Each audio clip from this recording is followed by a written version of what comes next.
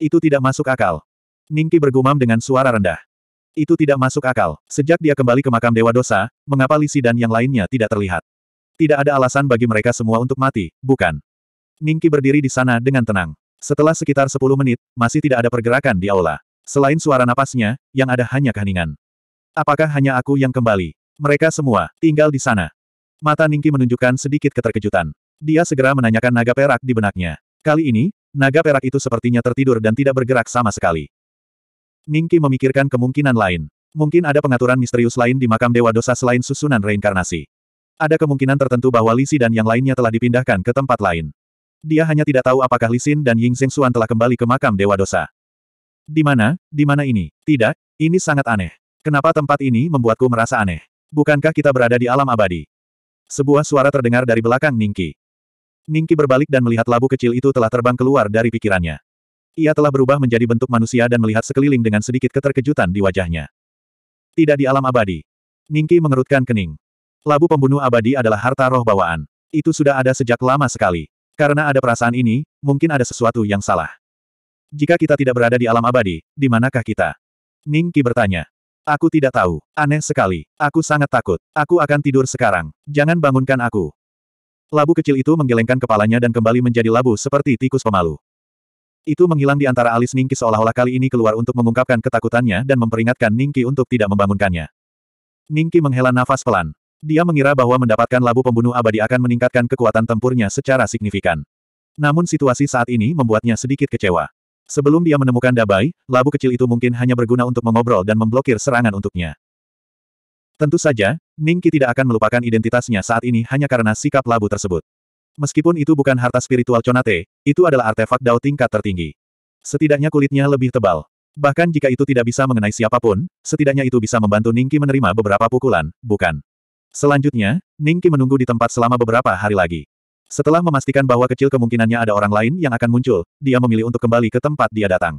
Adapun sembilan kursi perunggu, Ningki bahkan tidak menyentuhnya. Siapa yang tahu kalau mereka akan mengirimnya ke era lain? Jika ini adalah era perang besar keabadian dan iblis, Ningki akan melakukannya. Dia merasa bahwa dengan kultivasinya, peluang dia untuk bertahan hidup akan sangat rendah. Koridor gelap itu sunyi. Hanya suara langkah kaki Ningki yang terdengar. Api jalan besar di kedua sisi telah padam karena suatu alasan. Terakhir kali Ningki muncul di koridor, dia membutuhkan waktu lebih dari sebulan untuk mencapai gerbang perunggu. Kali ini, hanya butuh setengah hari baginya untuk melihat secercah cahaya di depannya. Pada saat yang sama, aura yang mustahil melonjak ke arahnya, mengalir deras ke dalam tubuhnya, dan tubuhnya juga terasa seperti akan meledak. Tubuhnya, seperti seorang musafir yang telah haus di gurun selama beberapa hari, terus-menerus menyerap aura tersebut. Ningki sedikit terkejut, lalu perlahan berjalan menuju cahaya. Ketika dia benar-benar meninggalkan koridor, dia tidak bisa menahan diri untuk tidak terkesiap. Pada saat ini, dia tidak dikelilingi oleh ki abadi, tetapi ki iblis yang tak ada habisnya. Ini adalah benua suku iblis. Ningki tiba-tiba berbalik, hanya untuk menemukan bahwa koridor itu telah menghilang tanpa jejak. Sebagai gantinya adalah sebuah dataran, dan ada beberapa monster yang lewat. Mereka memandang Ningki dengan mata lapar dan haus saat mereka berjalan menuju Ningki selangkah demi selangkah. Mata Ningki sedikit berkedip, dan dia segera berubah menjadi bentuk tubuh iblisnya. Api iblis yang mengerikan membubung ke langit, menakuti makhluk-makhluk iblis yang tidak memiliki kecerdasan spiritual untuk melarikan diri, kencing sambil berlari. Makam Dewa Dosa menghilang, seolah tidak pernah muncul. Apakah ini sarana dari penguasa makam Dewa Dosa, atau beberapa tanda tanya muncul di kepala Ningki. Dia tidak mengerti mengapa dia muncul di tempat ini. Tiba-tiba, Ningki sepertinya memikirkan sesuatu. Kehendak spiritualnya tergerak. Segera setelah itu, dia menemukan bahwa Gunung Fangchun, yang telah kehilangan kontak sama sekali karena jaraknya yang jauh, kini telah dibangun kembali. Itu seperti saat dia pertama kali datang ke penjara abadi. Ini, bukankah, penjara abadi, kan? Ningki menatap ke langit dan bergumam pada dirinya sendiri. Itu tidak masuk akal, seolah-olah ada tangan tak kasat mata yang mengendalikan segalanya. Makam Dewa Dosa jelas berada di bintang leluhur. Mengapa tiba-tiba hal itu membawanya ke sini? Ningki tahu seberapa jauh bintang leluhur dari tempat ini. Makam ilahi tidak mungkin muncul di sini. Bahkan Dewa Abadi mungkin tidak bisa membuat makam Dewa Dosa muncul di sini dan kemudian menghilang. Sambil berpikir, sosok yang sudah lama tidak muncul-muncul di depan Ningki. Ningki memandang pangeran ketiga yang tertegun dan berkata sambil tersenyum, mahasiswa Ming San, selamat telah kembali ke rumah. Pangeran ketiga Ming memandang Ningki dengan heran, lalu tersentak, melihat sekeliling, dan berkata kepada Ningki dengan tidak percaya, kita kembali. Mem. Ningki mengangguk sambil tersenyum. Pangeran ketiga Ming menarik napas dalam-dalam. Dia telah disimpan di domain penciptaan oleh Ningki selama bertahun-tahun dan lupa waktu. Namun, karena Ningki pernah membiarkan Ying Xuan tinggal di domain penciptaan, dia tahu bahwa Ningki telah kembali ke dunia abadi. Yang paling mengejutkan pangeran ketiga adalah dia telah kembali ke benua iblis. Kemudian, pangeran ketiga Ming dikejutkan oleh aura iblis Ningki. Dia menunjuk ke arah Ningki dan berkata, kamu, kamu, kamu. Apa, bicaralah dengan benar. Ningki tersenyum. Kultivasimu, ini adalah tahap setan bumi. Tidak, tahap iblis bumi tidak begitu menakutkan. Pangeran ketiga Ming tergagap. Dia adalah manusia iblis kesempurnaan sempurna. Berdiri di depan iblis surgawi kesempurnaan sempurna, dia secara alami merasakan jantungnya berdebar kencang. Tidak perlu menebak, kesempurnaan sempurna iblis surgawi. Ning Qi menyeringai. Pangeran Ming ketiga berlutut di tanah dengan bunyi gedebuk, seluruh tubuhnya gemetar. Dia tidak setakut ini bahkan ketika Ning Qi telah menekannya. Iblis surgawi adalah keberadaan yang tabu di penjara abadi. Ning Qi membantu pangeran ketiga berdiri. Jangan terlalu sopan. Aku baru saja mengajakmu kembali untuk merayakan tahun baru karena ini hampir akhir tahun. Penjara abadi tidak merayakan tahun baru. Pangeran ketiga Ming bergumam dalam hatinya. Namun, dia tetap sangat senang bisa kembali ke rumah. Tidak salah lagi bau yang familiar ini. Ini adalah rumahnya. 2602. Indera pengarahan Ningki selalu buruk, dan Pangeran Ming ketiga juga tidak akrab dengan kota Yansan. Oleh karena itu, keduanya mencari dalam waktu yang lama dan meminta beberapa setan untuk menemukan arah yang benar. Melihat gerbang kota yang familiar, Ningki menghela nafas pelan. Pangeran Ming ketiga mengikuti di belakang Ningki, sesekali menatap Ningki dengan sedikit ketakutan di matanya. Bagaimanapun, Ningki adalah iblis surgawi pada tahap kesempurnaan. Namun, dia sedikit penasaran mengapa Ningki menghela nafas. Pangeran Ming ketiga secara alami tidak tahu bahwa Ningki menghela nafas karena konflik antara klan abadi kuno dan ras iblis. Dapat dikatakan bahwa ras iblis juga berkontribusi banyak pada rencana klan Tiandao untuk membunuh klan abadi kuno. Sekarang, dia adalah makhluk abadi dan iblis. Dia adalah makhluk abadi sekaligus iblis. Aku ingin tahu sudah berapa lama waktu berlalu di sini. Ning Qi tersenyum. Pangeran Ming ketiga membuka mulutnya. Dia tidak tahu apakah Ning Qi sedang berbicara pada dirinya sendiri atau bertanya padanya. Jika Ning Qi bertanya padanya, dia juga tidak akan tahu. Ning Qi telah menghabiskan lebih dari 100 tahun di dunia asal, dan beberapa ratus tahun dalam perjalanannya menuju alam abadi. Menambahkan tahun-tahun ini dan fakta bahwa aliran waktu antara dua tempat mungkin berbeda, Ning Qi tidak akan pernah menebak tanpa bertanya kepada seseorang yang dia kenal sudah berapa lama sejak dia meninggalkan alam abadi. Berapa tahun telah berlalu sejak dia meninggalkan dunia abadi? Aku ingin tahu apakah Raja Iblis Pain dari Gunung Sun dapat melarikan diri kali ini. Di masa lalu, iblis yang membuat marah suku Lucifer tidak memiliki akhir yang baik. Saya mendengar bahwa murid keempat Pain memiliki hubungan dekat dengan suku Lucifer. Mengapa suku Lucifer mengirim dua senior alam iblis bumi untuk menekan Lord Pain? Murid keempat Lord Pain telah hilang selama lebih dari seribu tahun. Rumor mengatakan bahwa dia sudah lama meninggal. Tentu saja, hubungan keduanya telah memudar. Kali ini, dua senior tahap iblis bumi yang datang ke kota Yansan kami adalah Davis dan Liu Donghe. Keduanya merupakan sosok ternama, menurut legenda. Rumornya mereka punya dendam dengan istana Raja Iblis. Mungkin murid keempat Lord Pain memprovokasi terlalu banyak musuh selama turnamen pilihan surga. Aku pernah mendengarnya, tapi sayang sekali aku tidak datang ke suku Lucifer untuk menonton turnamen pilihan surga. Beberapa setan mengobrol saat mereka berjalan melewati Ningki dan Ye Chen.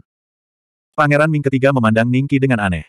Jika dia ingat dengan benar, Raja Iblis Gunung Zunpain adalah guru Ningki di sini. Dia adalah murid keempat yang disebutkan oleh setan-setan itu. Davis dan Liu Donghe. Ningki sedikit mengernyit. Dia masih ingat kedua orang ini. Yang pertama adalah tetua suku Lucifer, dan murid langsungnya, Yuji, telah mati di tangannya. Selain itu, selama pertempuran jenius ras iblis, Ningki juga telah membunuh beberapa muridnya. Orang ini sangat membencinya, dan Liu Donghe juga sama. Pada saat itulah Ningki melihat sisa jiwa Feng Jiuxian di Gua Kaisar Dunia Bawah dan mengetahui bahwa ibunya, Pangeran Muting, dibawa ke tanah abadi oleh seorang murid keluarga Jiang. Jika tidak ada kecelakaan, murid keluarga Jiang itu adalah Jiang Yu. Secara logika, bahkan jika dia meninggalkan tempat ini selama lebih dari seribu tahun, dengan bibi Jian di suku Lucifer, Davis dan Liu Donghe tidak akan berani datang ke kota Yanshan untuk mempersulit tuannya bahkan jika mereka punya sepuluh nyali. Mungkin hanya ada satu alasan mengapa mereka berdua datang ke sini hari ini.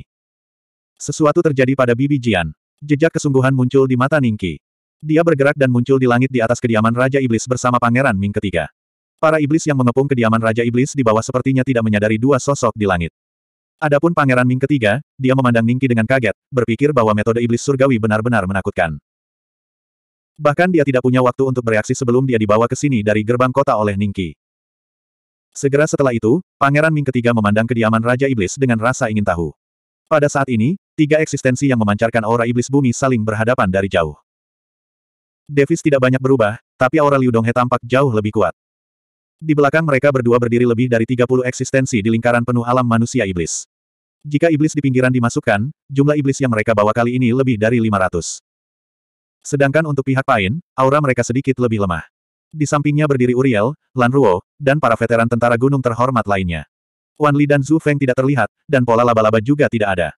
Selain Pain yang berada di alam iblis bumi, yang lain semuanya berada di pertengahan lingkaran penuh alam iblis manusia. Adapun klan lain di kota Gunung Yan, seperti klan Bulan Utara, klan Yang, Del. Pada saat ini, di bawah pimpinan pemimpin klan mereka, mereka berdiri 300 meter dari kediaman Raja Iblis. Ekspresi mereka khawatir, acuh tak acuh, atau mengejek. Mereka semua memiliki sikap berbeda. Sakit, mengingat kita sudah saling kenal selama bertahun-tahun, kembalilah ke suku Lucifer bersama kita dan kita akan menghindari pertumpahan darah hari ini. Bagaimana? Setelah Liu Donghe memandang Pain dari atas ke bawah, dia tertawa kecil. Tawanya penuh dengan penghinaan. Davis tidak berbicara, tetapi ketika dia melihat ke arah Pain, ada jejak niat membunuh yang tersembunyi. Dia masih ingat bagaimana murid keempat Pain menyiksa dan membunuh beberapa murid langsungnya. Permusuhan seperti itu benar-benar tidak bisa didamaikan. Sekarang dia mempunyai kesempatan untuk mengincar Pain, bagaimana mungkin dia tidak melakukannya? Apakah dia akan membiarkannya pergi? Selama Pain menjadi penakut, dia akan bergandengan tangan dengan Liu Donghe dan langsung membunuhnya untuk mencegah masalah yang tidak semestinya. Lelucon yang luar biasa. Aku bertanya-tanya bagaimana aku telah menyinggung suku Lucifer sehingga mereka ingin kalian berdua datang dan menangkapku. Pain tersenyum. Berdiri di sampingnya, ekspresi Uriel agak serius. Namun, dalam situasi saat ini, kata-katanya tidak berbobot. Dia sudah siap bertarung sampai mati. Lanruo dan para lelaki tua lainnya yang berasal dari tentara gunung terhormat memasang ekspresi serius. Ada sedikit niat membunuh di mata mereka. Selama masih ada perbedaan pendapat, mereka akan bertarung sampai mati demi Pain hari ini. Pola laba-laba adalah murid ketigamu, kan? Dia mencuri peninggalan suci suku tersebut, dan kamu bilang itu tidak ada hubungannya denganmu. Davis berkata dengan acuh tak acuh. Itu benar, kedua muridmu telah meninggalkan kegelapan dan memasuki terang. Mereka telah memberitahu kami semua yang telah kamu lakukan secara pribadi. Mereka mengatakan kamulah yang menginstruksikan pola laba-laba untuk mencuri peninggalan suci suku Lucifer. Liu Donghe berkata dengan nada sombong. Oh, Wan Li dan Su Feng, jadi mereka pergi ke suku Lucifer. Rasa sakitnya mengejutkan, dan sudut mulutnya terangkat. Dua pengkhianat yang tidak tahu berterima kasih ini berani menipu Tuan dan leluhur mereka untuk memfitnahmu. Ada sedikit kemarahan di mata Uriel. Lan Ruo dan yang lainnya juga sangat marah. Semangat Istana Raja Iblis turun drastis karena kata-kata Liu Donghe. 2603. Semua klan besar di kota Gunung Yan tidak optimis terhadap Istana Raja Iblis. Meskipun nama Raja Iblis Gunung Zunpain sangat terkenal di sini, dibandingkan dengan suku terkemuka seperti suku Lucifer, nama itu sangat berbeda. Bagaimanapun, suku Lucifer memiliki ahli iblis surgawi. Saat ini, jumlahnya lebih dari sepuluh. Dengan Davis dan Liu Donghe di sini hari ini, itu lebih dari cukup untuk memandikan kediaman Raja Iblis dengan darah. Beberapa klan yang memiliki hubungan baik dengan Istana Raja Iblis sudah mulai khawatir. Bagi mereka, jika Istana Raja Iblis jatuh, kemungkinan besar ahli iblis bumi akan muncul entah dari mana untuk menggantikan Pain. Pada saat itu, kekuasaan dan keuntungan di tangan mereka pasti akan diambil kembali, bahkan mungkin akan diusir. Itu bahkan mungkin terjadi di kota Yansan. Namun, ada beberapa klan seperti keluarga Yang yang diam-diam membenci kediaman Raja Iblis. Mereka saat ini menonton pertunjukan dengan perasaan senang hati. Saat itu, kepala keluarga Yang, Yang Mo, dipukuli sampai mati oleh Ningki. Ningki juga merupakan murid keempat Pain. Mereka tidak menunjukkan apa pun di permukaan, bertindak seolah-olah mereka patuh, tapi mereka jelas membenci tanah milik Raja Iblis. Liu Donghe memandang Pain dengan senyum tipis. Wan Li dan Su Feng memang anggota suku Lucifer. Sekarang, buktinya tak terbantahkan. Masalahmu membiarkan murid ketigamu, jaring laba-laba, mencuri relik suci suku Lucifer sudah menyebar dengan cepat. Seluruh suku Lucifer ingin merobeknya. Kamu berkeping-keping. Penatua Davis ada di sini untuk memberi Anda jalan keluar. Serahkan dirimu, dan aku tidak akan membunuh bawahanmu. Melucuti senjata dan tidak membunuh. Lelucon yang luar biasa. Uriel dan yang lainnya sudah mengetahui situasi di depan mereka. Situasi hari ini adalah pertarungan sampai mati. Melucuti senjata dan tidak membunuh hanya bisa menipu anak berusia tiga tahun. Tuan, tulang-tulang tua tentara gunung terhormat sudah lama tidak kendur. Hari ini, mari kita bunuh sepuasnya. Lan Ruo tiba-tiba tertawa terbahak-bahak. Suaranya hampir bergema di seluruh kota Gunung Yan. Tuan, mari kita bunuh sepuasnya. Para tetua yang mulia tentara gunung lainnya meraung serempak. Para prajurit tentara gunung yang mulia ini telah mengikuti Pain untuk menaklukkan ke mana-mana dan secara paksa menaklukkan kota Gunung Yan. Darah di tangan mereka hampir bisa membuat danau menjadi merah. Bahkan dalam menghadapi kematian, mereka masih memiliki semangat juang yang tak kenal takut. Menolak bersulang hanya karena terpaksa meminum minuman yang hilang. Davis mencibir dan dengan ringan melambaikan tangannya, memberi isyarat kepada bawahannya yang mengelilingi seluruh istana Raja Iblis untuk memasuki halaman. Ekspresi Lan Ruo dan yang lainnya segera berubah serius. Mereka siap mengambil tindakan kapan saja. Namun, setelah tiga napas waktu, tidak ada gerakan sama sekali di luar. Davis sedikit mengernyit. Mungkinkah bawahannya tidak bisa memahami gerak-geriknya? Masih belum masuk. Liu Donghe berteriak. Selain anak buah Davis, ia juga membawa beberapa murid pribadi dan murid. Targetnya dan Davis adalah Pain, dan sisanya secara alami ditangani oleh bawahan mereka. Di luar sunyi, tidak ada yang menjawab Liu Donghe. Ekspresi lusinan manusia iblis sempurna yang berdiri di belakang mereka berdua sedikit berubah. Mereka sepertinya merasakan ada yang tidak beres. Pain juga sepertinya merasa ada yang tidak beres. Davis dan Liu Donghe saling berpandangan. Saat mereka hendak mengambil langkah berikutnya, pintu berderi terbuka perlahan, dan dua sosok masuk satu demi satu. Ketika semua orang melihat pemimpin kelompok, ekspresi 80% iblis sedikit berubah, dan sedikit keheranan muncul di mata mereka. Itu dia. Mata Davis dipenuhi kebencian. Dia menatap Ningki dengan gigi terkatup. Bahkan jika Ningki telah menjadi abu, dia masih akan mengenalinya. Namun, Liu Donghe memikirkan murid-muridnya dan murid-murid agungnya yang telah kehilangan semua tanda-tanda kehidupan karena kemunculan Ningki, dan dia perlahan-lahan menjadi tegas. Ekspresi Pain, yang pada dasarnya tetap sama selama 10 milenium terakhir, sedikit berubah ketika dia melihat Ningki. Di sampingnya, Rulril menjadi bersemangat setelah pulih dari linglungnya. Lan Ruo dan yang lainnya berjuang untuk percaya bahwa mereka akan melihat Ningki lagi setelah seribu tahun. Beixuan yang menduduki peringkat pertama dalam pertempuran keajaiban ras iblis lebih dari seribu tahun yang lalu. Kelompok iblis manusia puncak di belakang Davis dan Liu Donghe mengungkapkan sedikit kebingungan di wajah mereka. Mereka memandang Ningki dengan rasa ingin tahu, niat membunuh, dan ketakutan di mata mereka. Pada saat yang sama, klan di luar saling memandang dengan kaget. Salah satu dari dua orang yang baru masuk sepertinya familiar. Apakah kamu ingat dia? Pada saat ini, Patriark klan Northmoon, Northmoon Chongsu, berkata dengan ekspresi yang agak campur aduk, sepertinya dia adalah murid keempat Tuan Pain, Beixuan. Desis. Anak itu benar-benar muncul lagi. Tetapi meskipun dia ada di sini, itu tidak akan membuat perbedaan dalam situasi saat ini. Saat dia pertama kali menghilang, dia hanyalah manusia iblis awal atau pertengahan. Seribu tahun telah berlalu, dan dia masih hanyalah manusia iblis. Kata kepala keluarga yang saat ini dengan dingin.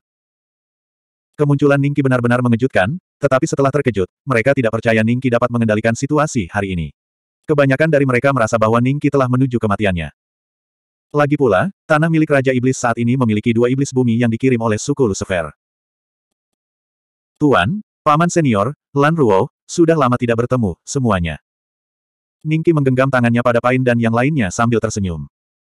Pain memandang Ningki, tetapi dia menyadari bahwa dia tidak bisa lagi melihat melalui kultivasi muridnya. Sepotong pemikiran muncul di matanya, dan dia mengangguk sambil tersenyum.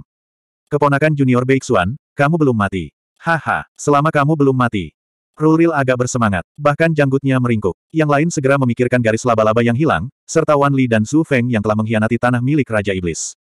Sekarang setelah mereka melihat murid keempat Lord Pain muncul saat ini, mereka memiliki perasaan yang sangat rumit. Mereka tidak menyangka bahwa orang yang berencana bertarung bersama mereka dalam situasi putus asa ini hanyalah Lord Pain. Murid terakhir yang dia terima. Haha, kalau begitu dia masih harus mati hari ini. Suara Davis terdengar. Dia sudah melupakan iblis yang diam di luar. Saat ini, hanya ada Ningki di matanya. Setelah mendengar kata-kata Davis, Pangeran Ming ketiga memandangnya dengan rasa kasihan. Adegan ini secara kebetulan ditangkap oleh Liu Donghe, yang memasang ekspresi bingung di wajahnya. Jantungnya berdetak kencang, dan firasat buruk muncul di hatinya. Kemudian, api iblis yang sangat agung dan mengerikan terpancar dari tubuh Ningki. Itu seperti gunung yang menekan Liu Donghe, Davis, dan yang lainnya. Celepuk. Celepuk. Pertama, Manusia iblis kesempurnaan besar yang dibawa keduanya tidak dapat menahan tekanan yang mengerikan ini, dan mereka berlutut di tanah karena terkejut. Kemudian, Davis dan Liu Donghe berlutut bersama, dan lutut mereka bahkan tenggelam ke tanah. Mereka saling memandang dengan ngeri, dan kemudian menatap Ningki dengan tidak percaya. Saat saya berbicara, saya tidak suka orang menyela. 2604. Iblis Langit. Semua orang melihat wajah Davis yang dipelintir ketakutan, dan kemudian mendengar dia melontarkan dua kata yang sangat berat untuk penjara abadi. Ekspresi semua orang berubah drastis, termasuk Pain, Ruril, dan yang lainnya. Tidak mungkin. Kamu telah hilang selama seribu tahun. Saat itu, kamu hanyalah manusia iblis. Bagaimana kamu bisa? Liu Donghe berlutut di tanah dan memandang Ningki dengan tidak percaya. Peristiwa hari ini hampir menyebabkan pandangan dunianya runtuh. Baginya, seribu tahun setara dengan sepuluh hari bagi manusia, atau bahkan lebih pendek. Namun, bagaimana manusia iblis bisa berubah menjadi iblis surgawi dalam waktu sesingkat itu? Kebenaran ada di depan matanya. Dia ditekan oleh aura menakutkan Ningki dan tidak bisa bergerak. Tapi Liu Donghe tidak mau mempercayai apa yang dilihatnya. Setan yang dibawa oleh Liu Donghe dan Davis semuanya memandang Ningki dengan ngeri.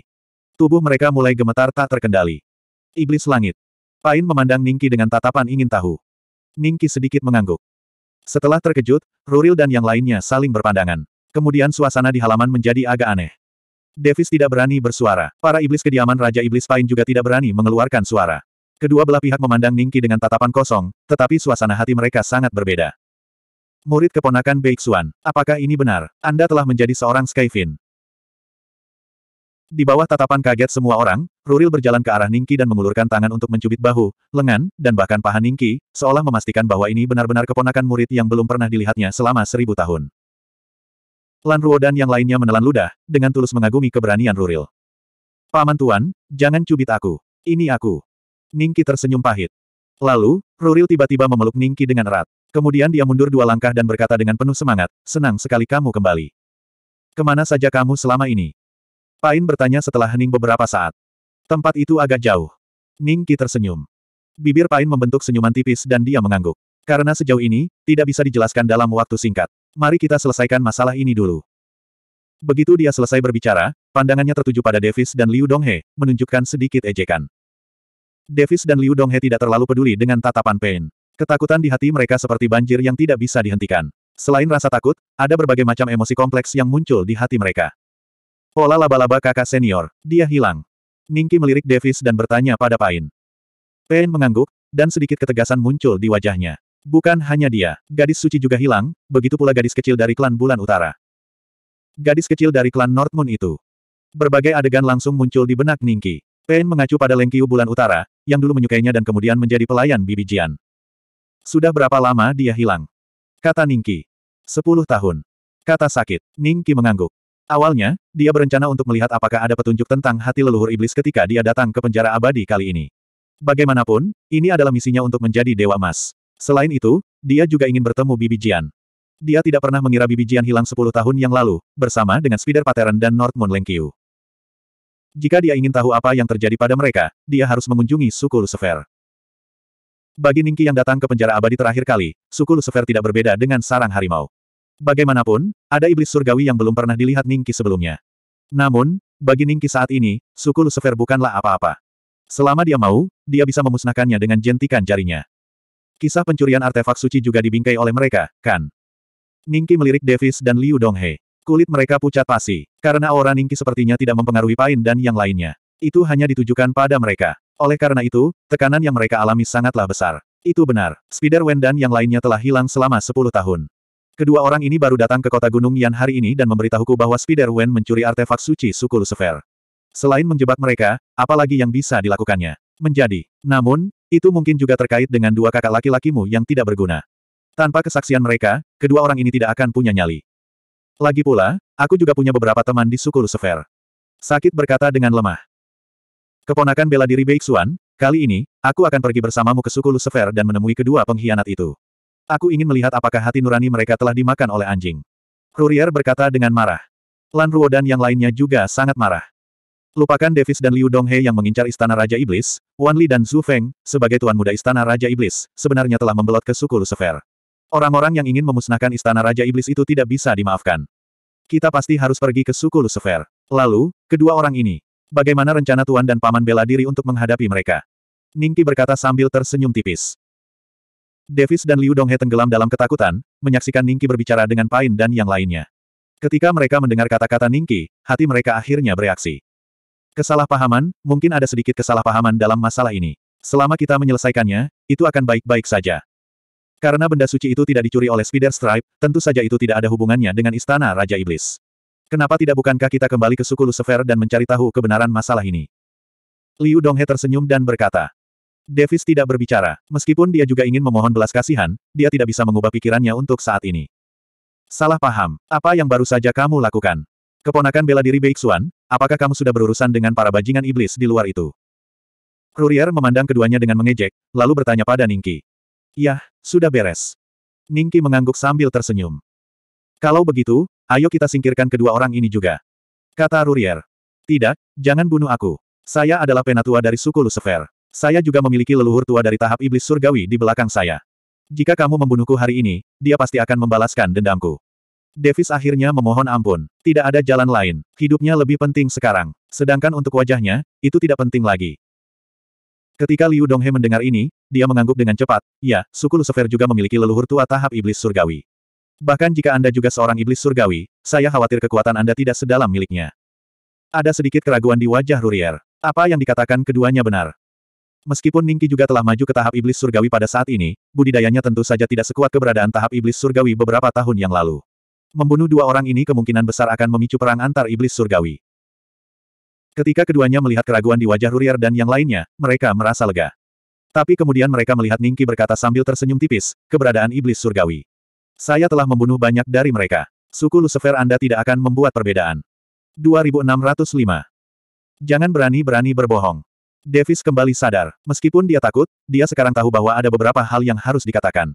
Bagaimanapun, itu ada hubungannya dengan hidupnya. Berapa banyak nenek moyang iblis surgawi yang ada di dunia ini? Kamu sebenarnya mengatakan bahwa kamu membunuh mereka yang tak terhitung jumlahnya. Kamu bisa berbohong kepada kami, tetapi bisakah kamu membohongi dirimu sendiri? Jika kamu ingin membunuhku hari ini, lakukanlah. Tapi kamu harus memikirkan tuanmu, paman bela dirimu, dan orang-orang dari istana Raja Iblis ini. Bisakah mereka lolos dari kejaran suku Lucifer?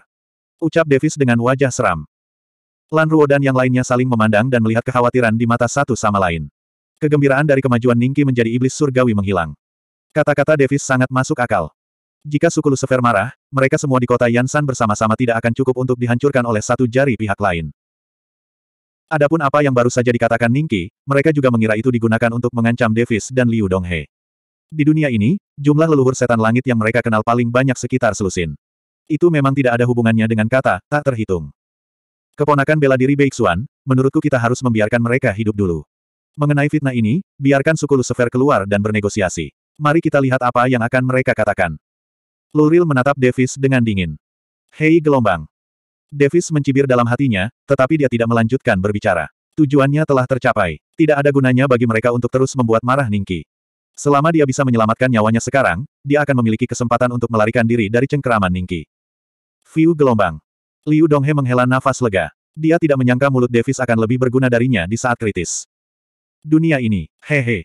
Bibir Ningki sedikit melengkung. Dia berjalan perlahan ke arah Davis, menatapnya, dan berkata sambil tersenyum, memang, hanya ada selusin setan surgawi di dunia ini, tapi...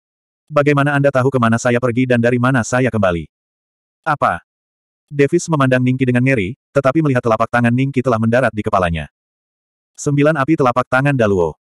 Api abadi yang mengerikan menyebar ke seluruh tubuh Davis. Davis melolong menyakitkan dan terbakar menjadi abu di depan semua orang. Davis sudah mati. Mata semua orang, termasuk mata Pain, sedikit berubah.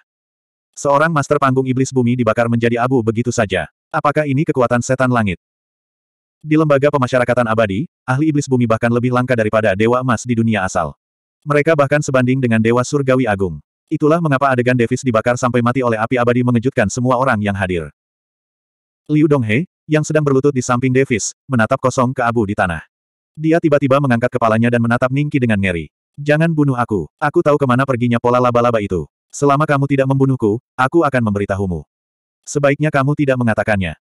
Ningki tersenyum dan menjentikkan jarinya. Api abadi segera mendarat di dahi Liu Donghe dan mengubahnya menjadi bola api.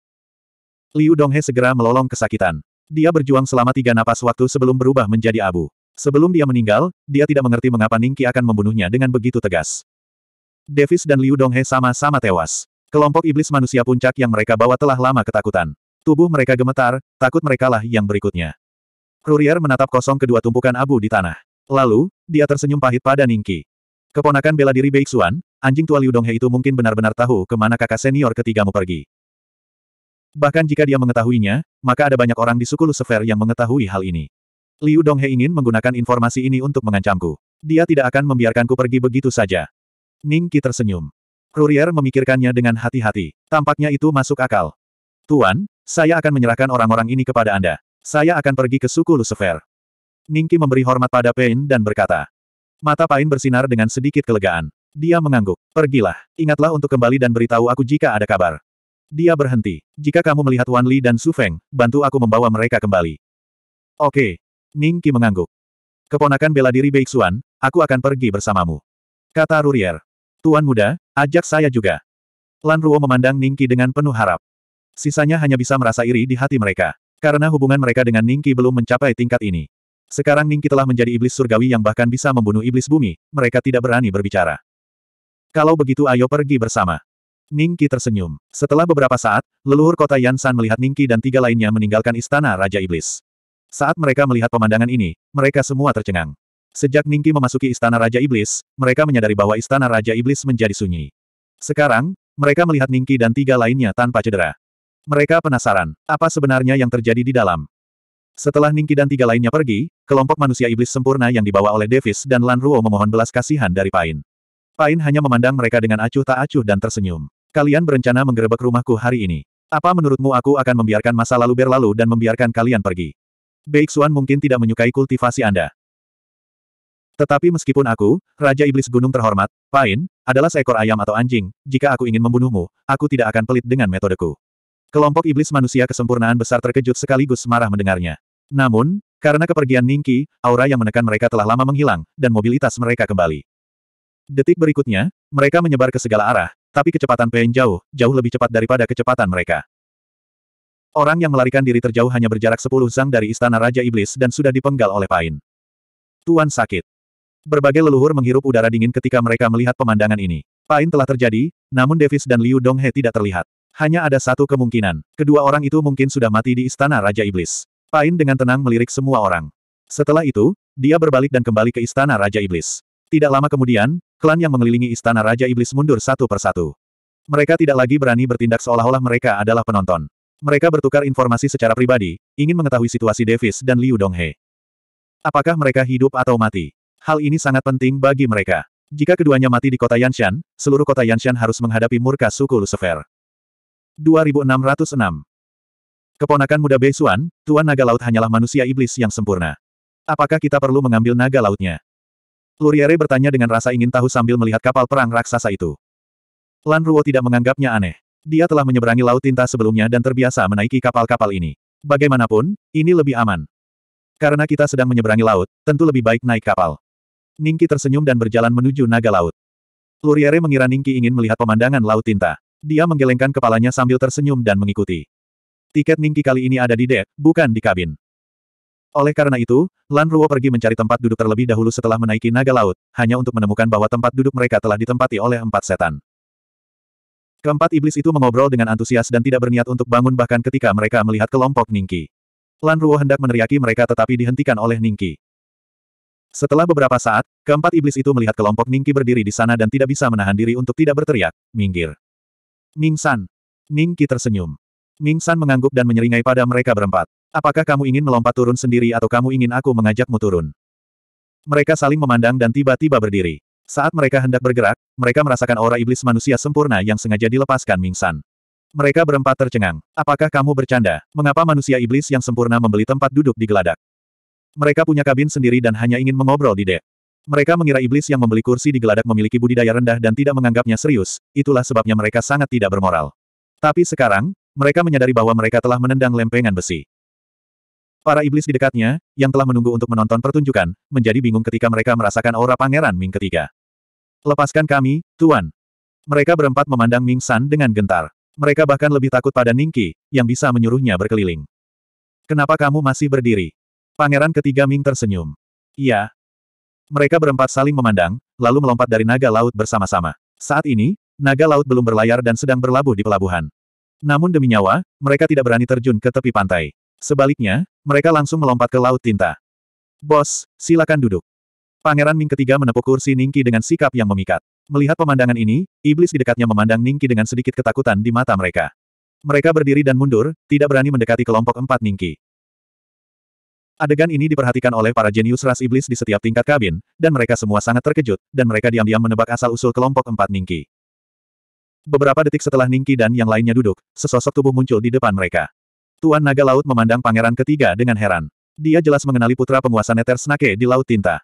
Pangeran ketiga Ming. Tuan Naga Laut berkata dengan heran. Pada saat yang sama, dia melirik Ningki dan dua lainnya dan mengenali Luliere dan Lanruo. Dia merasa aneh di hatinya. Mengapa penduduk istana Raja Iblis Kota Yansan bisa bersama dengan Pangeran Ming ketiga yang telah hilang selama bertahun-tahun? Terlebih lagi, dia tahu bahwa suku Lucifer sedang bersiap untuk menyerang istana Raja Iblis di kota Gunung Yan. Tiba-tiba, sedikit kecurigaan muncul di hatinya. Mungkinkah keduanya melarikan diri dari istana Raja Iblis? Memikirkan hal ini, ekspresi Tuan Hailong menjadi sedikit jelek. Oh, itu Tuan Naga Laut. Pangeran Ming ketiga meliriknya, lalu mengangguk dan tidak berkata apa-apa lagi. Melihat ini, pandangan Master Naga Laut tertuju pada Luliere dan Lanruo. Dia berkata dengan dingin, kalian berdua berasal dari Istana Raja Iblis Kota Yansan, kan? Maaf, kapal naga lautku penuh hari ini. Silakan turun. Apakah kamu bercanda? Mungkinkah tiket yang kubeli itu palsu? Luliere langsung marah dan menamparkan tiketnya. Tuan naga laut melihatnya dan mengangguk. Itu palsu. Kapal naga laut adalah miliknya, jadi dia punya hak terakhir untuk menjelaskan. Jika dia bilang itu palsu, maka itu palsu. Tuan naga laut, apa maksudmu dengan ini? Pangeran Ming ketiga melirik Ningki. Melihat Ningki tidak berniat berbicara, dia berdiri dan menatap dingin ke arah Master Naga Laut, siap menyerang. Tidak ada. Mereka adalah orang-orang yang dicari oleh suku Lucifer. Mereka tidak bisa menaiki kapal naga lautku. Tuan Naga Laut berkata dengan jelas. Orang-orang yang diinginkan oleh suku Lucifer. Aku baru saja mendengar dari Tuan Naga Laut bahwa mereka berasal dari Istana Raja Iblis Kota Yansan. Baru-baru ini, ada kabar bahwa suku Lucifer sedang bersiap untuk menyerang Istana Raja Iblis. Kudengar itu karena murid ketiga Raja Iblis Sun San sakit. Spider Stripe mencuri relik suci suku Lucifer. Meskipun Master Naga Laut terkenal di Laut Tinta, dibandingkan dengan suku Lucifer, itu seperti perbedaan antara semut dan gajah. Haha, begitu. Mereka baru saja mengusir keempat iblis itu, tapi dalam sekejap, mereka akan diusir dari kapal oleh Master Naga Laut. Belum tentu. Apakah kamu tidak mendengar bagaimana Master Naga Laut menyapa senior dari alam kesempurnaan iblis itu? Pangeran Ming ketiga, apakah Anda mempunyai kesan terhadapnya? Ses, mungkinkah yang ada di bawah Laut Tinta? Hem, Lumayan. Jadi akan ada pertunjukan bagus hari ini. Aku khawatir itu akan menunda perjalananku. Para iblis digeladak di dekatnya dan keajaiban ras iblis yang berdiri di lorong menyaksikan pemandangan ini dengan ekspresi berbeda. Kemudikan kapalmu dengan benar. Jangan khawatir tentang hal lain. Ningki berkata dengan jelas. Tuan Naga Laut sedikit mengernyit dan menatap Ningki. Dia sepertinya merasa Ningki tampak familiar. Namun, dia hanya bertemu Ningki sekali atau dua kali, dan Ningki tidak muncul selama lebih dari seribu tahun, jadi dia tentu saja tidak bisa mengenalinya. Anda. Melihat bahwa dia tidak bisa melihat melalui Ningki, Tuan Naga Laut bertanya dengan ekspresi sedikit serius. Jika Ningki berada di tahap iblis bumi, dia tidak perlu menaiki kapal naga laut miliknya. Dia sepenuhnya memiliki kekuatan untuk menyeberangi Laut Tinta. Justru karena inilah Master Naga Laut merasa sulit untuk menilai. Ningki tidak mengatakan apa pun. Dia hanya menatap Master Naga Laut dengan acuh tak acuh. Pandangan sekilas ini membuat Tuan Naga Laut merasa seolah-olah sedang menghadapi binatang buas yang tiada taranya. Lapisan keringat dingin tiba-tiba merembes keluar dari punggungnya, dan aura di tubuhnya sedikit kacau. Jejak ketakutan muncul di mata Tuan Naga Laut. Iya. Tuan Naga Laut tidak lagi meminta Luril dan Lan Ruo turun dari kapal. Dia menjawab dengan suara rendah dan berbalik untuk pergi. Semua orang menyadari bahwa langkah kakinya tampak sedikit tergesa-gesa. 2607 Senior, apakah kamu akan menyaksikan pertempuran besar antara makhluk abadi dan iblis? Iblis suku laut meraj memandang Ningki dengan hati-hati. Mereka telah melihat semua yang terjadi sebelumnya. Bahkan Tuan Hailong tidak berani memprovokasi Ningki. Setan seperti mereka, yang bergantung pada naga laut untuk mencari nafkah, tidak berani menyinggung Ningki. Meskipun mereka didukung oleh suku Laut Meraj, suku Laut Meraj telah mengalami kemunduran selama bertahun-tahun. Kalau tidak, mereka tidak akan menjadi mengemis makanan di naga laut. Baiklah, mari kita lihat. Ningki mengangguk sambil tersenyum. Melihat ini, iblis itu segera membawa Ningki ke dalam tenda dengan hormat, bahkan tidak berani meminta kristal iblis dari Ningki. Tidak jauh dari situ, pangeran ketiga dan yang lainnya melihat pemandangan ini dan tiba-tiba mendapat sedikit pemahaman. Mereka akhirnya tahu mengapa Ningki ingin menunggangi naga laut. Master Hailong, yang telah memperhatikan Ningki dari puncak naga laut, melihat Ningki memasuki tenda suku Laut Meraj, dan matanya tiba-tiba menunjukkan sedikit kengerian. Dia akhirnya ingat siapa Ningki. Aku tidak menyangka tingkat pengolahannya telah mencapai tingkat seperti itu hanya dalam seribu tahun. Bahkan juara sebelumnya dalam pertempuran kebanggaan surga dari ras iblis tidak seburuk dia, bukan? Tuan Hailong bergumam pada dirinya sendiri, tapi dia bingung dengan tindakan Ningki. Dia berpikir bahwa Ningki telah maju ke tahap iblis bumi, tetapi mengapa iblis bumi secara khusus datang untuk menyaksikan pertempuran besar antara makhluk abadi dan iblis? Seperti pangeran ketiga dan yang lainnya, dia juga menebak tujuan Ningki datang ke naga laut. Sekitar satu jam kemudian, Ningki meninggalkan ilusi dan berdiri diam selama beberapa napas. Meskipun dia telah melihatnya terakhir kali, dia masih bisa merasakan kemarahan dan keputusasaan klan abadi kuno. Mereka mempertaruhkan nyawa mereka untuk menghentikan ras iblis menyerang dunia abadi, tetapi pada akhirnya, bukan ras iblis yang mengalahkan mereka, melainkan Dao Surgawi di belakang mereka. Klan Setan dari suku laut meraj berdiri di samping, diam-diam menatap Ningki dengan rasa takut. Dia takut Ningki tidak akan puas dengan kinerja pertempuran besar antara makhluk abadi dan iblis. Saya mendengar bahwa suku Laut Meraj Anda memiliki kinerja yang sedikit lengkap dalam pertempuran besar antara makhluk abadi dan iblis. Ningki berkata dengan ringan. Iblis dari suku Laut Meraj sedikit terkejut, lalu mengangguk dan berkata dengan suara rendah, dengan agak bijaksana, Senior, suku kami memiliki aturan bahwa hanya leluhur iblis surgawi yang dapat menyaksikan pertempuran lengkap antara makhluk abadi dan iblis. As katanya, dia melihat ekspresi Ningki, takut Ningki akan marah. Saya ingin melihat, di mana saya bisa melihatnya. Ningki tersenyum. Senior dot ini. Melihat ini, wajah pihak lain segera menunjukkan ekspresi bermasalah. Oh, aku lupa memberitahumu, aku adalah iblis surgawi. Ningki tersenyum. Hai. Tidak hanya iblis dari suku Laut Ilusi itu menghirup udara dingin, beberapa iblis dari suku Laut Ilusi yang berdiri di kejauhan hampir berlutut ketika mereka mendengar ini. Wajah mereka berubah menjadi hijau karena ketakutan. Iblis surgawi. Apakah senior ini benar-benar seorang Skyfin? Mereka merasa sulit untuk percaya. Apa, bukankah sudah kubilang hanya iblis langit yang bisa melihatnya? Ningki sedikit mengernyit saat melihat pihak lain diam. Iblis dari suku Laut Ilusi setengah berlutut di depan Ningki, tubuhnya gemetar. Aku punya mata tapi gagal melihat. Aku tidak mengenali senior sebagai leluhur iblis surgawi. Mohon maafkan aku. Tidak perlu mengatakan apa-apa lagi. Katakan padaku, di mana aku bisa pergi untuk melihat perang besar keabadian dan iblis secara lengkap. Ningki berkata dengan ringan. Senior, kamu hanya perlu pergi ke Meraj City kami. Pihak lain berkata dengan tergesa-gesa. Setelah beberapa saat, Ningki mendapat tempat duduk di kota Laut Meraj dan kembali ke Geladak. Dia berkata kepada Pangeran Ming ketiga, Laut Tinta adalah kampung halamanmu. Apakah kamu akan kembali atau pergi ke suku Lucifer bersama kami? Pangeran Ming ketiga menunjukkan sedikit keraguan di matanya.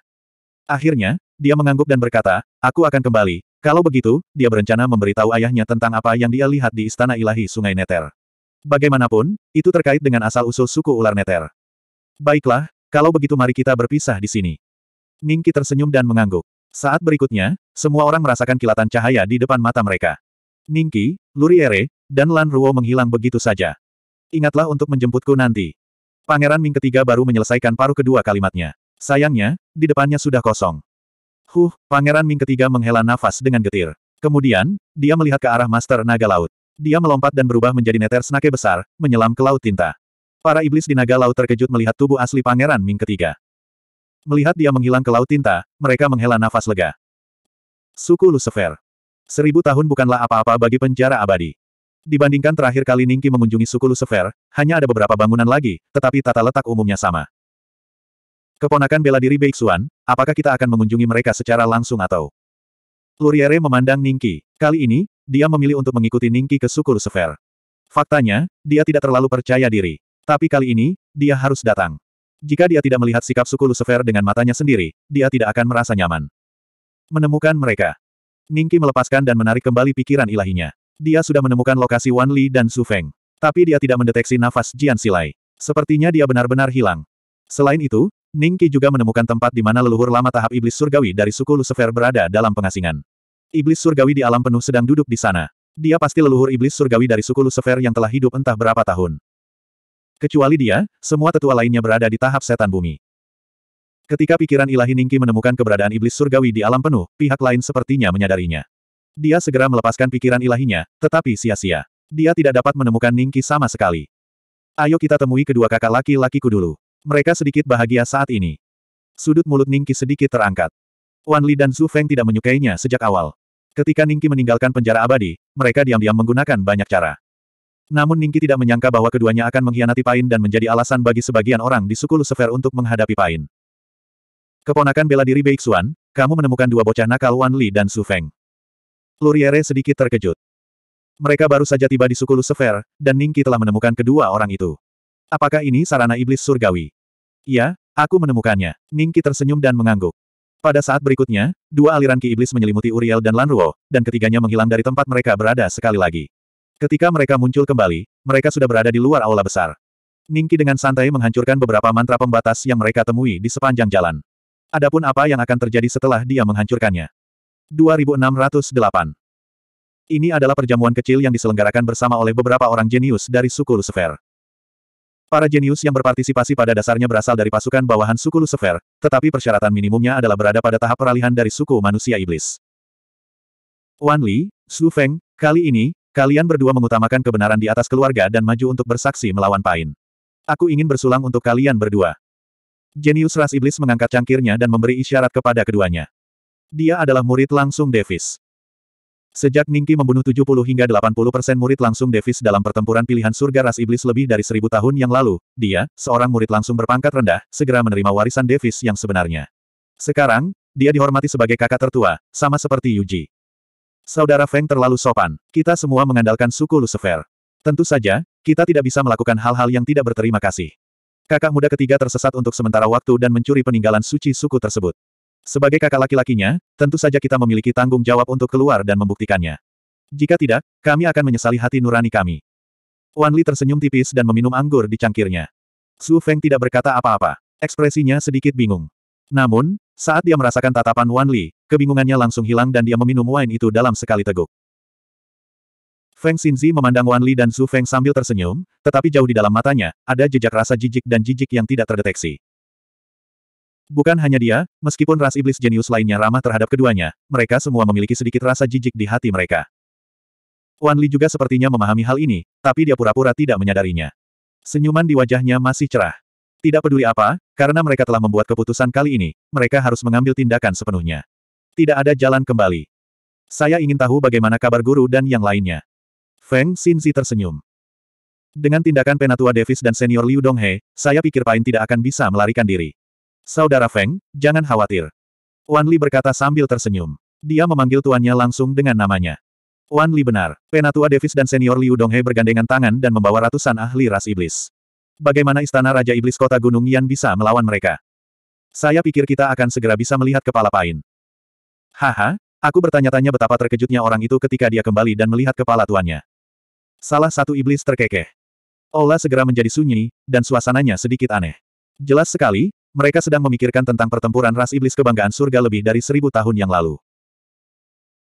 Saat itu, Kaisar Api Penghukum Surga dan Kaisar Chiou semuanya merupakan pesilat jenius tingkat atas di dinasti Han, namun mereka telah dikalahkan hingga babak belur oleh ras iblis yang lemah. Semua orang di sini hanya memainkan peran kecil dalam pertempuran prodigi ras iblis. Oleh karena itu, suasana menjadi begitu sunyi ketika iblis mengucapkan kata-kata tersebut. Dia sudah menghilang selama lebih dari seribu tahun. Mungkin dia sudah mati. Jika dia benar-benar muncul lagi, maka aku akan membiarkan kakak tertuaku mengambil kepalanya sendiri. Wan Li mencibir. Lagi pula, penampilan Ningki pada saat itu terlalu mempesona, dan bahkan seorang jenius seperti kaisar hukuman surga pun tidak bisa menandinginya. Apakah begitu? Kamu ingin mengambil kepalaku dengan tanganmu sendiri? Suara acuh tak acuh terdengar di aula. Semua orang menoleh untuk melihat pintu masuk aula dengan takjub. Tanpa mereka sadari, tiga sosok sudah muncul di sana. Ketika Wan Li dan Zhu Feng melihat ketiga sosok itu lagi, ekspresi mereka berubah drastis. Sepotong rasa tidak percaya muncul di mata mereka. Wan Li, Zhu Feng, kalian berdua bajingan kecil pengkhianat, anak kecil yang tidak tahu berterima kasih, apakah kalian terkejut melihat lelaki tua ini ada di sini? Apakah menurut Anda Tuan Anda dan saya seharusnya dibunuh oleh dua bajingan itu, Davis dan Liu Donghe? Luril memandang Wan Li dan Zhu Feng, dan sudut bibirnya membentuk senyuman mengejek. Mas, paman bela diri. Wan Li dan Su Feng tanpa sadar berdiri dan menatap Luril dengan kaget. Kemudian, pandangan mereka tertuju pada Ningki. Itu kamu. Feng Xinzi dan iblis lainnya juga mengenali Ningki. Setelah terkejut, ekspresi mereka menjadi sedikit aneh. Secara logika, Luril seharusnya sudah mati. Kenapa dia tiba-tiba muncul di sini? Dan mengapa juara pertempuran ajaib ras iblis lebih dari seribu tahun yang lalu muncul entah dari mana? Kakak tertua, kakak kedua, sudah lama tidak bertemu. Saya tidak menyangka saat kita bertemu lagi, Anda sudah menjadi pengkhianat yang mengkhianati sekte. Ini benar-benar membuat saya sedikit bahagia. Ningki tersenyum tipis. Luril tercengang. Lan Ruo juga menatap Ningki dengan tatapan kosong. Sementara itu, Wan Li dan Zhu Feng bereaksi terhadap kata-kata Ningki dan berteriak kepada Feng Xinzi, Saudara Feng, cepat kirim pesan agar para tetua datang dan bunuh anak ini.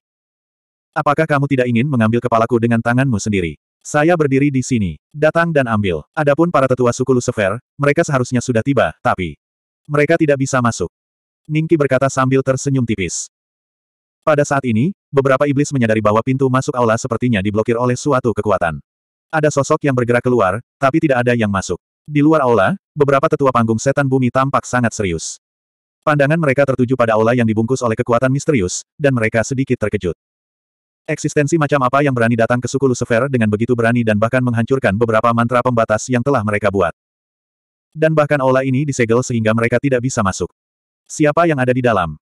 Orang yang berbicara adalah ahli Earth Demon tahap akhir. Dia adalah anggota kabinet penatua. Mendengar ini, para tetua lainnya segera memberikan perintah tersebut. Tidak lama kemudian, mereka menerima kabar tersebut dan mengetahui siapa yang ada di dalam. Semua tetua menghela nafas lega, karena di mata mereka, ras iblis jenius di dalam istana hanyalah karakter yang tidak penting. Ada sesuatu yang mencurigakan terjadi hari ini. Kalian tetap di sini dan awasi. Aku akan meminta bantuan leluhur tua. Anggota kabinet penatua memerintahkan dan berbalik untuk pergi. Setelah memastikan keaslian kata-kata Ningki, Hyacin dan para jenius klan iblis lainnya juga mulai sedikit ketakutan. Pada saat yang sama, ada rasa tidak percaya dan keraguan di hati mereka. Mantra terlarang macam apa yang digunakan pihak lain untuk menjebak seluruh aula di dekat pusat suku Lucifer. Bahkan para pemimpin di luar. Bahkan orang tua pun tidak bisa mendobrak pintu. Mereka percaya bahwa tidak mungkin tiga orang di depan mereka memiliki sarana seperti itu. Sekalipun Ningki pernah menjadi juara pertarungan pilihan surga dari ras iblis, di mata mereka, dia bukanlah tandingan tetua panggung iblis bumi. Saudara Feng, mereka datang dengan niat buruk hari ini. Pilihannya adalah kamu yang mati atau aku yang mati. Jangan bicara omong kosong dengan mereka lagi. Ayo kita hancurkan mereka bersama-sama. Wan Li menatap Ningki dan berbisik. Ketika para jenius klan iblis melihat ini, mereka saling memandang dan sepertinya setuju dengan kata-kata Wan Li. Hyacin mengangguk dengan sungguh-sungguh, menunjuk ke arah Ningki, dan berkata kepada orang banyak, bunuh dia dulu. Dua karakter kecil lainnya tidak perlu dikhawatirkan. Suara mendesing. Iblis Ki menembus kepala Hyacin. Dia mempertahankan postur mengangkat tangannya, memandang Ningki dengan tidak percaya, dan jatuh ke tanah dengan bunyi gedebuk. Vitalitas di matanya telah hilang. 2609 Setan di aula tercengang ketika mereka melihat Feng Xinzi jatuh ke tanah dan mati. Kemudian, mereka memandang Ningki dengan tidak percaya. Feng Xinzi adalah ahli human demon tahap akhir. Bagaimana dia bisa terbunuh dalam sekejap mata tanpa mereka sadari? Apa, metode macam apa ini? Terjadi keheningan sesaat. Semua orang saling memandang, tapi tidak ada yang berani bersuara. Tatapan mereka tanpa sadar beralih ke Wan Li dan Su Feng. Apakah kamu tahu siapa yang telah kamu bunuh? Wan Li memandangi mayat Feng Xinzi dengan sedikit ketakutan di matanya. Oh, Apakah dia memiliki latar belakang yang kuat? Ningki bertanya dengan rasa ingin tahu. Wan Li dan Zhu Feng tidak mengkhawatirkan kehidupan mereka sendiri, tetapi mereka takut dengan kematian Feng Xinxi. Mungkinkah orang ini ada hubungannya dengan leluhur agung suku Lucifer? Dia adalah murid pribadi Penatua Davis. Sekarang setelah kamu membunuhnya, kamu tidak akan bisa mati bahkan jika kamu menginginkannya. Wan Li berkata dengan dingin. Davis, saya ingat saya telah membunuh banyak muridnya. Satu lagi tidak akan membuat perbedaan, bukan? Ning Qi tercengang. Pendukung Anda di suku Lucifer telah menghilang. Apakah menurut Anda Anda cocok dengan Penatua Davis dengan kekuatan Anda? Guru dan yang lainnya mungkin memiliki kesempatan untuk hidup, tetapi karena Anda, segalanya telah mencapai titik di mana tidak ada jalan untuk kembali. Wan Li berkata sambil menghela nafas. Kemudian, dia diam-diam mengamati ekspresi Ningki dan dua lainnya dari sudut matanya, seolah dia ingin melihat sesuatu dari ekspresi mereka. Pada akhirnya, dia menemukan Luril dan Lan Ruo sedang tertawa. Adegan ini langsung membuat Wan Li sedikit gelisah. Ini benar-benar berbeda dari yang dia bayangkan. Selain sedikit ancaman, perkataannya sebelumnya juga untuk membingungkan pihak lain dan menstabilkan mereka. Dengan cara ini, para tetua di luar akan memiliki lebih banyak waktu untuk mematahkan mantra pembatas yang telah dibuat oleh Ningki dan dua orang lainnya. Tapi sekarang, ketiganya bereaksi sangat aneh. Wan Li, menurutmu apakah tuanmu telah ditekan oleh Davis dan Liu Donghe? Pernahkah kamu memikirkan alasan mengapa kami bisa datang ke sini hari ini dan melihat kalian berdua pengkhianat kecil? Luril tersenyum. Memikirkannya dengan hati-hati. Mungkinkah? Ekspresi iblis lain di aula menjadi tidak sedap dipandang, dan pikiran menakutkan muncul di benak mereka. Apakah Penatua Davis dan yang lainnya mengkhianati suku Lucifer? Kamu tidak perlu menebak-nebak lagi. Davis dan Liu Donghe telah dibunuh oleh Tuan Muda. Tuan Muda sekarang menjadi iblis langit yang bermartabat. Bahkan jika leluhur iblis langitmu muncul hari ini, dia tidak akan menjadi tandingannya. Demi Tuan Muda, kalian berdua pengkhianat, berlututlah dan akui kesalahanmu. Lan Ruo yang selama ini diam, akhirnya tidak bisa menahan amarah di hatinya dan mencaci maki Wan Li dan Su Feng. Apa? Davis dan Liu Donghe sudah mati. Dia seorang iblis langit. Mustahil. Anak nakal ini baru hilang selama seribu tahun. Bagaimana mungkin dia bisa menjadi iblis langit? Orang-orang istana Raja Iblis sudah gila. Apakah mereka pikir mereka bisa menakuti suku Lucifer kita begitu saja? Keajaiban ras iblis di aula mengakui bahwa Ningki kuat, tetapi tidak satupun dari mereka yang mempercayai Lan Ruo, termasuk Wan Li dan Su Feng. Lan Ruo, Tahukah kamu betapa berbahayanya kata-katamu? Kekuatan magis dan sarana apa yang dimiliki leluhur iblis surgawi? Jika dia tahu apa yang Anda katakan, saya khawatir meskipun perawan suci kembali ke suku Lucifer, tidak akan ada belas kasihan. Mengapa kamu tidak segera pergi? Cepat pergi dan kami akan berpura-pura tidak mendengar apa yang Anda katakan hari ini. Wan Li mengerutkan kening. Alasan kamu tidak mati, adalah karena guru ingin kamu kembali hidup-hidup. Itu sebabnya aku tidak membunuhmu. Adapun tujuanku yang sebenarnya datang ke sini hari ini, bukan kamu.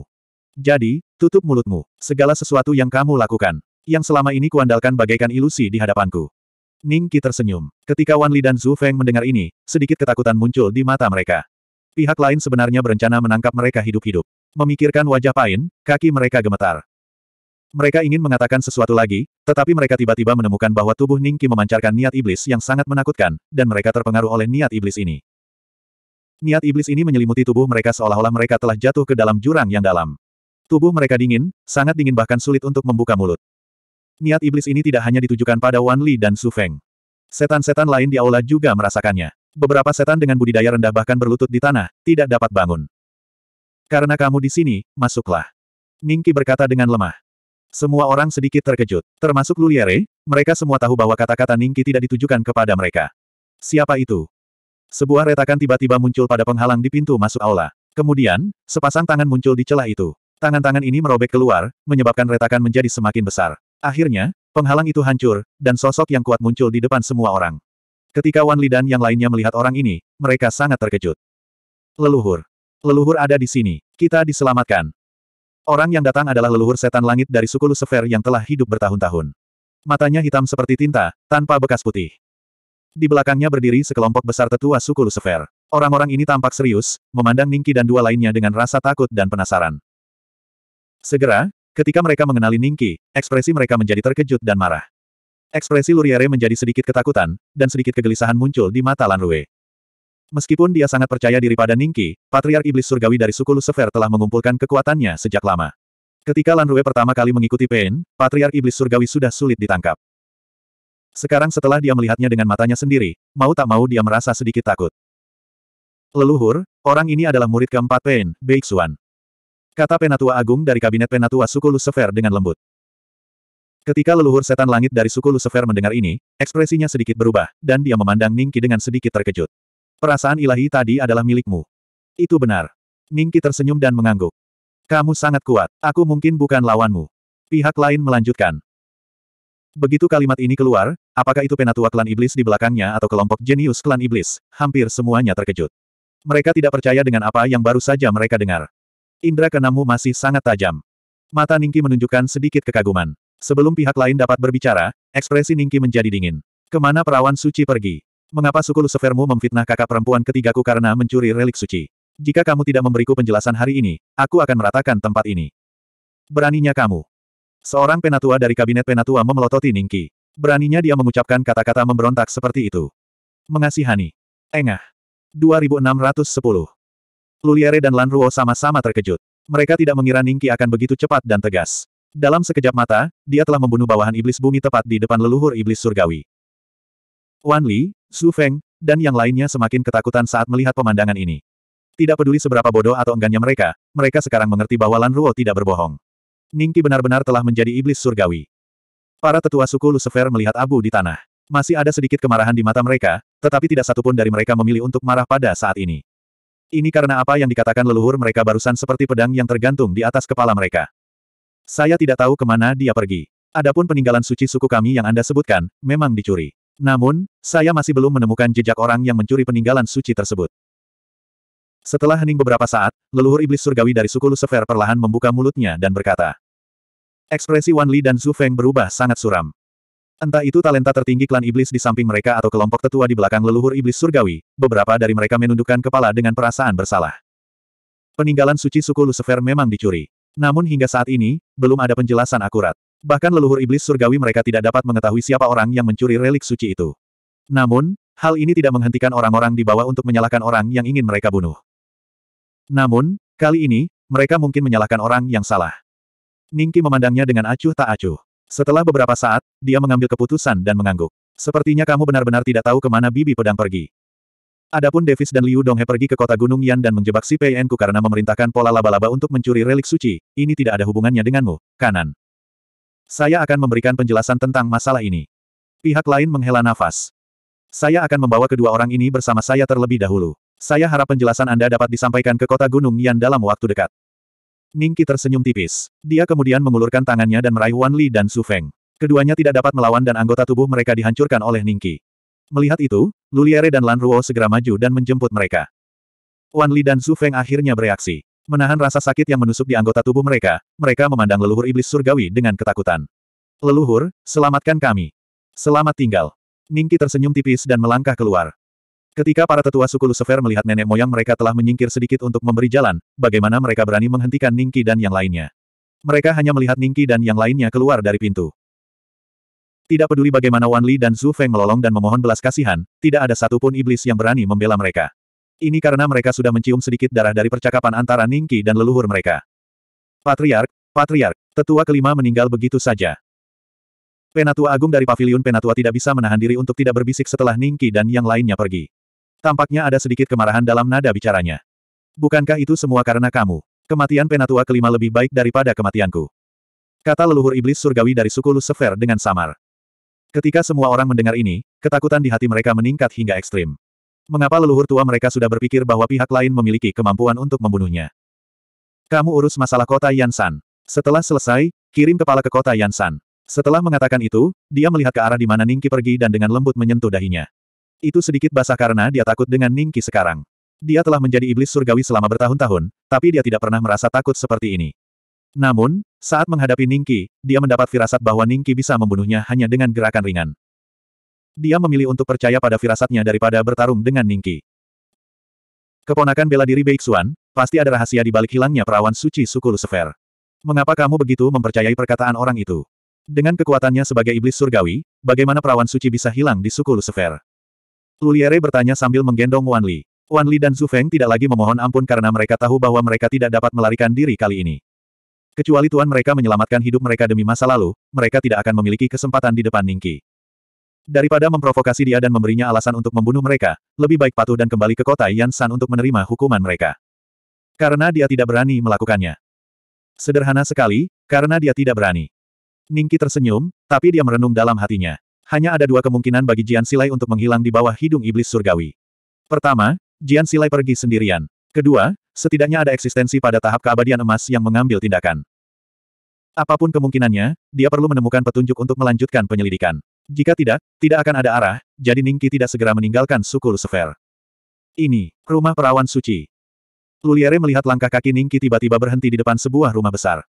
Dia mendongak dan melihat tiga kata besar, rumah perawan suci. Tunggu aku sebentar. Ningki tersenyum pada mereka berdua dan berjalan ke rumah perawan suci.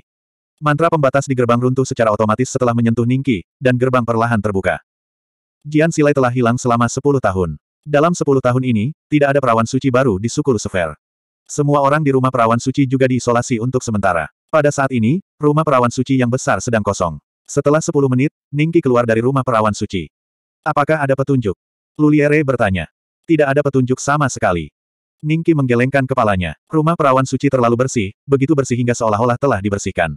Bahkan jika Jian Silai meninggalkan petunjuk apa pun, itu akan terhapus.